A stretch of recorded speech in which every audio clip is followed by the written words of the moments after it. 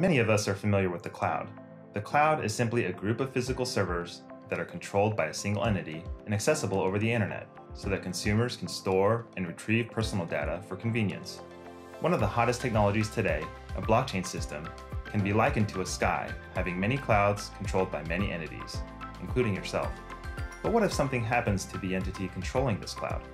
Every cloud in the sky shares its data with other clouds, ensures that other clouds in the sky store the exact same data, and rejects data from clouds having conflicting data.